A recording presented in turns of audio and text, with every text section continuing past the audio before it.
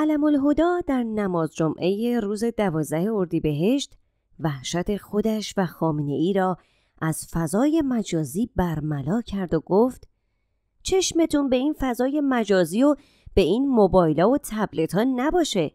هر کسی توی این فضای مجازی یک اربده کشی کرد خواست برای نظام حاشیه بسازه و دولت درست کنه فورا شما بدو این دنبال اون. دولت همه کارشو بذاره زمین بیاد این حاشیه رو جواب بده. علم الهدا که یک بار متوجه شد اربده کشی او در منبر دیگر مشتری ندارد و مردم به فضای مجازی روی آوردند چنین ادامه داد.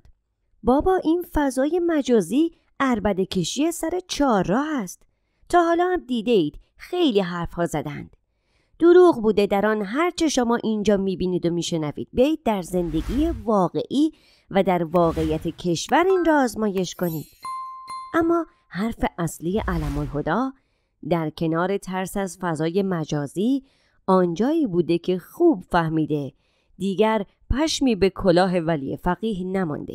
علم الهدا در حالی که دستی به امامش کشید تا مطمئن شود که سر جایش هست گفت اعتماد عمومی مردم به دولت خدشدار شده است اگر بنا شد اعتماد عمومی مردم نسبت به دولتی که یک بخش از این نظام است خدشدار بشود اعتماد مردم به نظام خدشدار می شود و این درست نیست دولت مردی که این وعده ها را می دهد می فهمد چه می گوید؟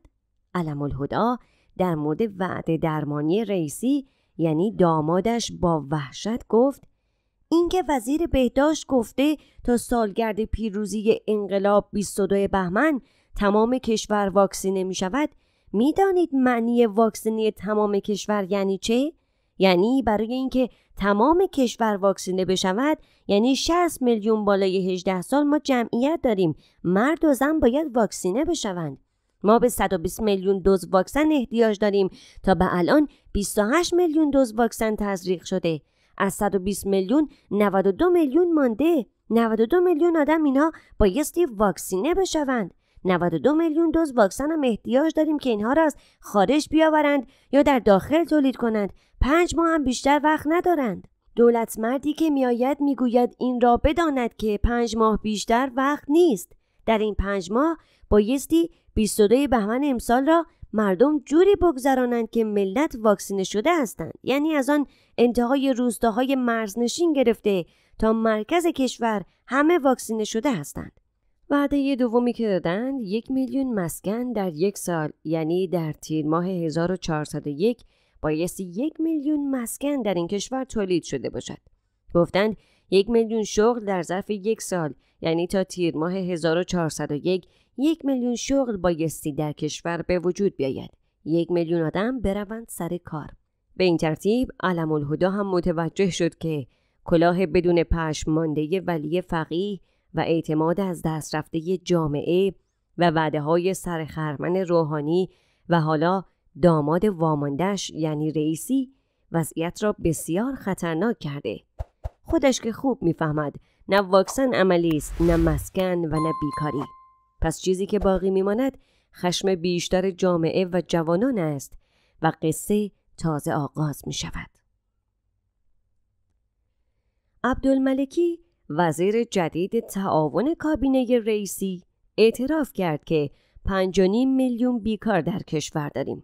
وی گفت مسئله بیکاری موضوع مهمی است چرا که 5.5 میلیون بیکار در کشور داریم که دچار چالش هستند که باید در جهت رفع آن گام برداریم. در مدیریت کلان کشور باید تورم و گرانی را مهار کنیم. طبق برنامه ریزی های توسعه اشتغال و با وعده رئیس جمهوری تلاش می شود سالانه یک میلیون شغل ایجاد شود. سه میلیون بازنشسته تأمین اجتماعی دو میلیون نفر هم در صندوق بازنشستگان داریم و علاوه بر این صندوق بیمه روستایی را نیز با پوشش روستاییان داریم. به گزارش خبرگزاری تسلیم از قوم عبدالملکی ظهر پنجشنبه 11 شهریور با علوی گرگانی از مراجع قوم دیدار کرد و اظهار داشت این مسیر نیازمند همکاری سایر وزارتخانه هاست هرچند که امکانات و منابع خوبی در کشور وجود دارد که می‌توان از این مشکلات عبور کرد وی گفت که به شدت نگران معیشت مردم هستیم. های رانتی زیادی در وزارت رفاه شکل گرفته است.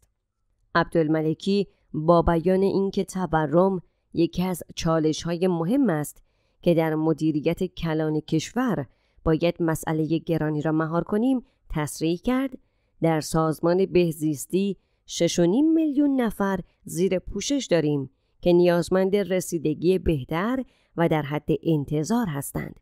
وزیر تعاون و کار و رفاه اجتماعی در حالی از بیکاری 5.5 درصد مردم سخن گفت که بنابر آمار مرکز آمار ایران تنها 41 درصد مردم بالای 15 سال اشتغال دارند.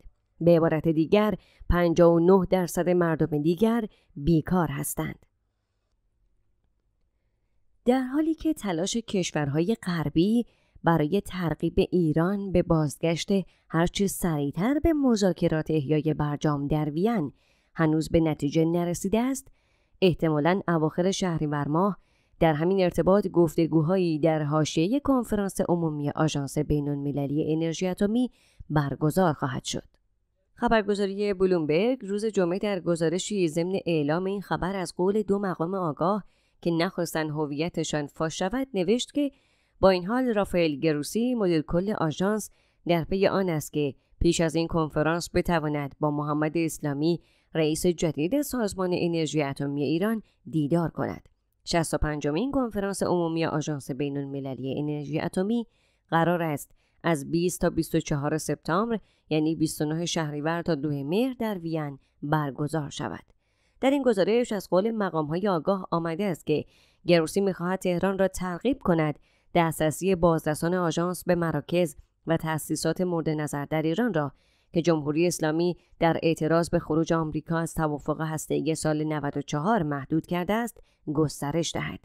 ایالات متحده، بریتانیا، فرانسه، روسیه، چین و آلمان شش قدرت جهانی عضو گروه پنج به علاوه یک در تیر ماه 94 موفق شدند برای اعمال برخی محدودیت های مشخص بر فعالیت های هستی ایران در ازای لغو تحریم های اعمال شده مرتبط با این فعالیت ها به توافق جامعه با تهران برسند. اما سه سال بعد دونالد ترامپ رئیس جمهور وقت آمریکا که توافق وین را معیوب می‌دانست و به دنبال یک توافق بهتر با ایران بود از آن توافق خارج شد و تحریم های لغو شده را دوباره علیه ایران اعمال کرد. با روی کار آمدن دولت جو بایدن که در زمان حصول توافق معاون باراک اوباما رئیس جمهوری وقت آمریکا بود واشنگتن تمایل خود برای بازگشت به برجام در صورت بازگشت تهران به تعهداتش را اعلام کرد و مذاکرات غیر مستقیم با ایران در وین را در فروردین 1400 از سر گرفت. شش دور از این مذاکرات احیای برجام با وساطت اتحادیه اروپا و با حضور سایر طرفهای برجام برگزار شد و سپس به دلیل در پیش بودن انتخابات ریاست جمهوری در ایران و تغییر دولت در خرداد 1400 متوقف شد و با وجود ابراز تمایل دو طرف هنوز تاریخی برای برگزاری دور هفتم مشخص نشده است. دوستان شنونده به پایان این بخش خبری رسیدیم. تا بخش بعدی خدا نگهدار.